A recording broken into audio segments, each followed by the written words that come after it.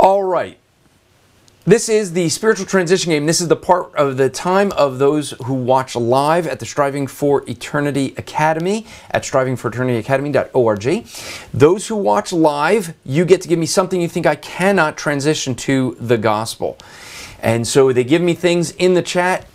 We then have to do a transition from whatever I'm given to the gospel message. Now, the way this game works is this way, and it's a fun game to play with friends, is you call someone out, in this case, you guys are calling, well, me out, and I have to transition to the gospel. Now you can be nicer and let someone just do a spiritual transition, just anything on a spiritual. They could talk, uh, transition it to the Bible, transition it to anything spiritual. I have to specifically get to a gospel presentation.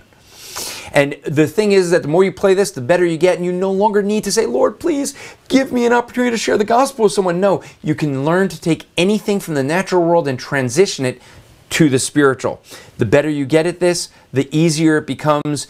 The way you play this game, it becomes a lot of fun if you play with a lot of people because a lot of different people have different ideas. And today, I am going to transition. you would, okay, I have the topic of holiday house guests. so, do you think you would be able to transition from holiday house guests to the gospel? Well, here's my shot at it. Uh, holiday house guests.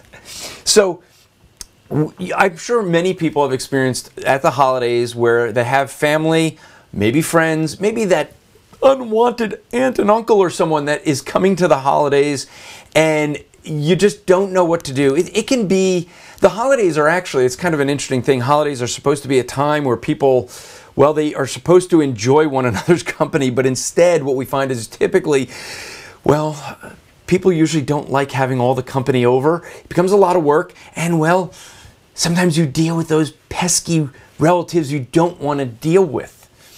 You know, the reality is, is there are times in life where we deal with things we just don't want to have to deal with. There's times in life where we just say, you know what, I, I don't like this situation, but it's something I have to deal with. Have you ever experienced that? Maybe not just with relatives or, or holiday guests that come over, but in other areas of life, there's times you have to deal with things that are just unexpected. Sometimes things we just don't want to deal with. So one of the reasons, you know, people who suffer from cancer, it becomes a difficult thing for doctors because people just don't want to hear it and they don't know what to deal with it.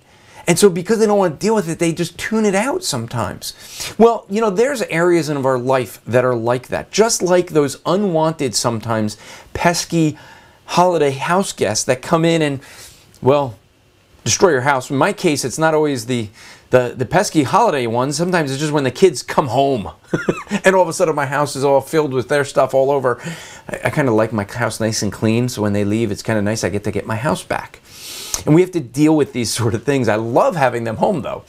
But, uh, but the thing is this what we end up finding out is that there are things in life we don't want to deal with. And one of the things we most often don't want to deal with is the question of what happens a second after we die.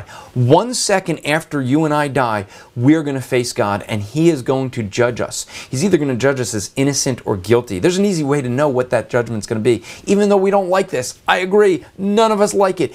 It's God's Himself as the standard. He is the basis of morality. So the things that are a violation of His nature are what's called sin, guilty if we do those things. Things like lying and stealing, things that are against his nature. And when we lie and steal, we make ourselves guilty and criminals in God's sight. We don't like that. But the good news is God made a way of escape. God himself came to earth. Being a man, he could pay the fine for men. Being God, he can pay the eternal fine. And so God, the God man, came to earth, died on a cross as a payment of sin so that you and I could be set free. But we have to stop trusting ourselves as a good person. Stop trusting that, that we could have a good nature. We have to trust not our good works, but Christ's good work, what he did on the cross, and what God did alone as a payment for our sin. That's the way that we can have eternal life. And that would be my transition from holiday guests to the gospel. How would you go about doing it? Share that with us and share that